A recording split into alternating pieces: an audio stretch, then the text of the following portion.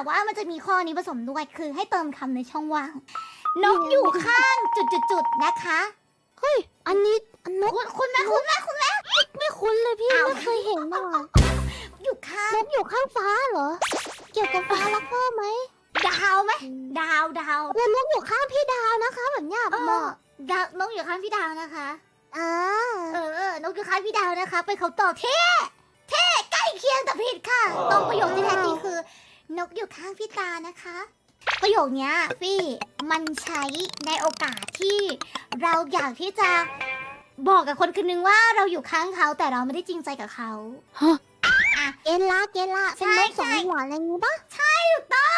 เวลาเราใช้ประโยคเนี้ย ก็ไม่ได้หมายความว่าเราอยู่ข้างเขาก็อย่างเช่น ถ้าเราเจอพี่โอมก็บอกว่า ถึงแม้ว่าหนูจะไม่ค่อยเข้าใจพี่ แต่นกอยู่ข้างพี่ตานะคะนกอยู่ข้างพี่โอมนะคะถึงว่านกจะไม่ค่อยรู้เรื่องรู้ราวเท่าไหร่แต่ว่านกอยู่ข้างพี่โอมนะคะ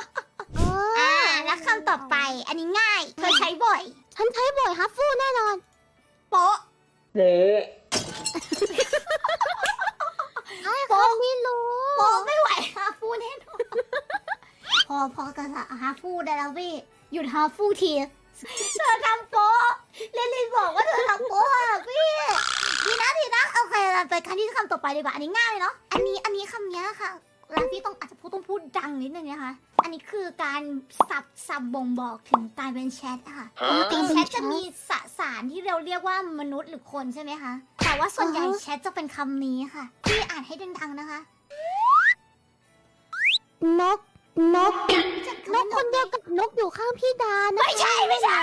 ไม่ต้องไปเอานกนั้นมาแล้วอันนั้นน้องเหนรกออันนี้นกรู้ป่าว่านกมันมีมินนิ่งแฝงเฮ้ยเธอชอบเขาแล้วเขาไม่ได้ชอบเธอหรอเฮ้ยเธอชอบเขาแล้วเขาไม่ได้ชอบเธอหรอเก่งมากอันนั้นแหละเธอคือนกใช่มันเป็นพวกแชทนะใช่มันคือแชทเขาเรียกว่าแบบพวกแชทเป็นพวกนก เสียเป็นแสนแขวนไม่ได้จับอะเฮ้ย อันต่อไปอ่าเป็นคำพูดปลุกใจคำนี้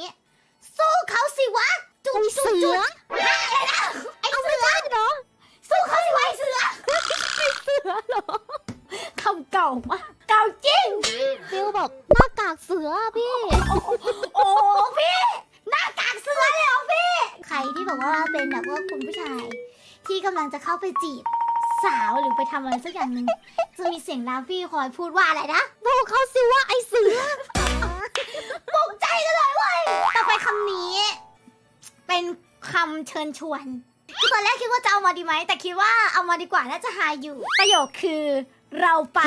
เย่เย่มารุโกะกันเถอะอะไร